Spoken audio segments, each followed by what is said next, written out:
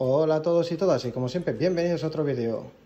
Ya que tengo ahora la Focusrite os voy a enseñar cómo con esta maravillosa herramienta, el Smart y la ecualización y el ruido rosa de nuestra mesa podemos conseguir hacer que ese monitor suene de una forma totalmente diferente y más realista, como no, y con el micrófono de Behringer de medición, que se me olvida.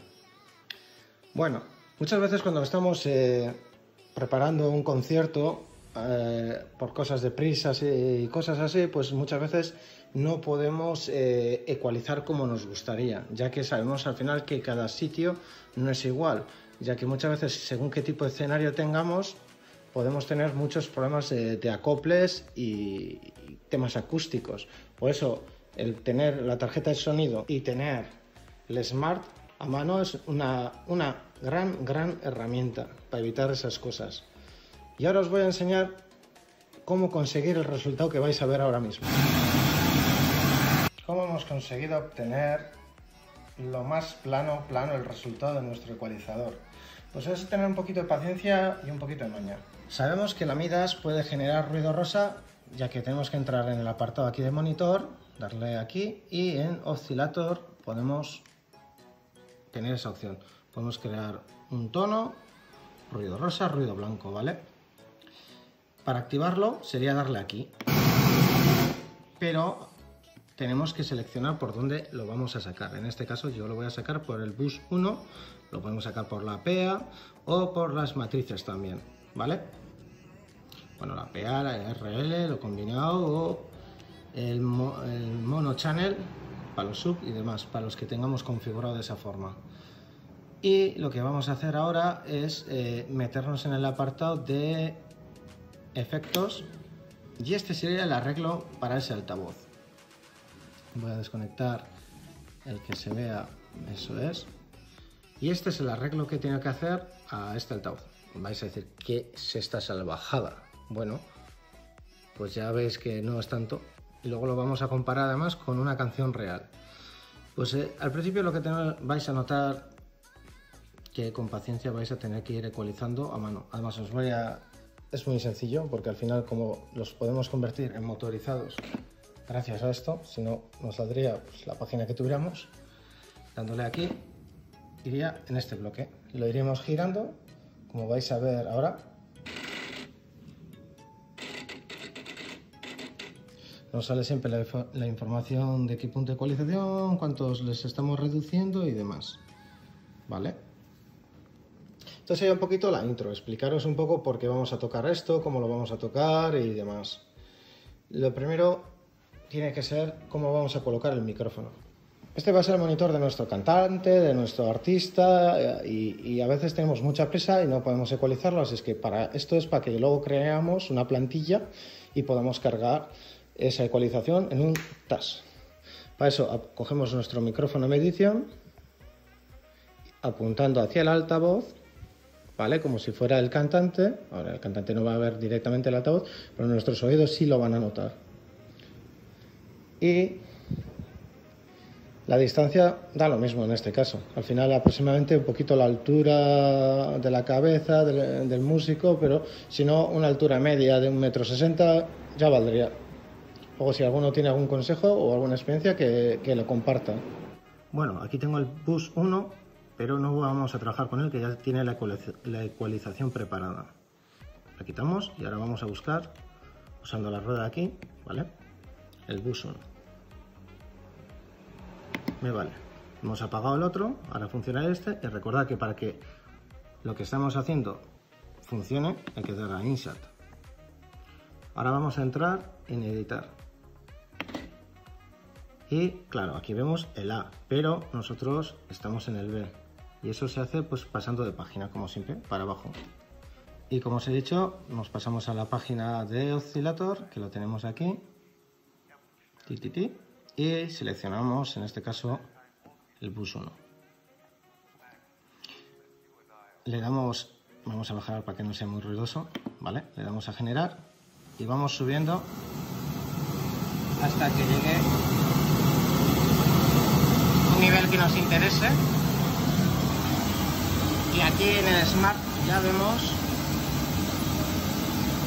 voy a quitar la... Bueno, para que podáis comparar.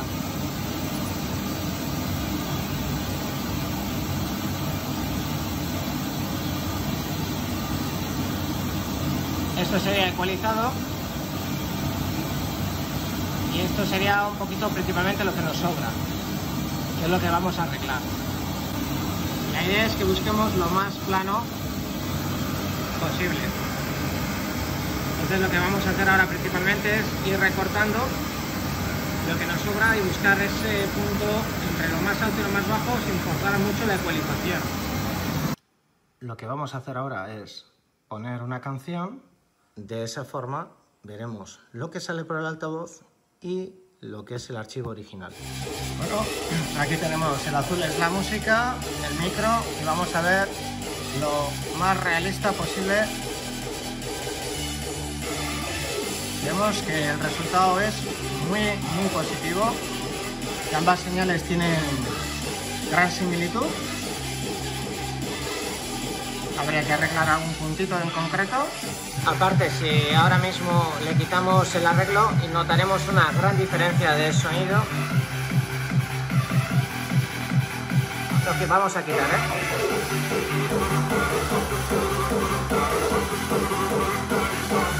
Lo volvemos a poner.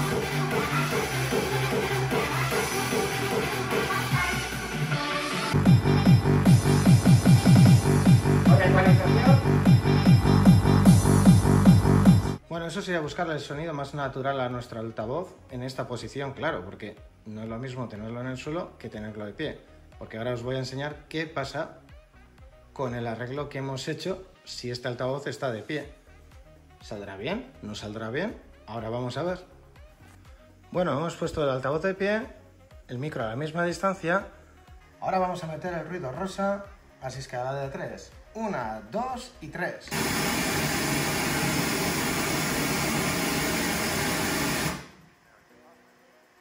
Y aquí tenemos el resultado de, oh Dios mío, ¿qué ha pasado aquí? De tener esto, tenemos ahora esto.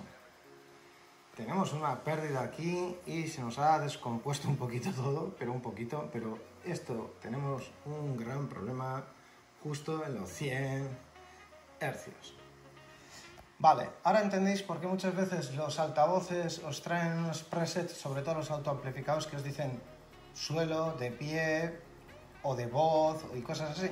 Pues porque el, altavoz no se comporta de la misma forma cuando está de pie a cuando está en el suelo, ya que tiene el suelo que le puede impulsar, le puede dar más energía a los bajos o un montón de cosas.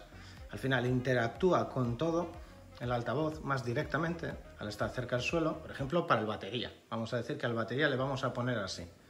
Vamos a usar como parte del drum fill y es el monitor del batería.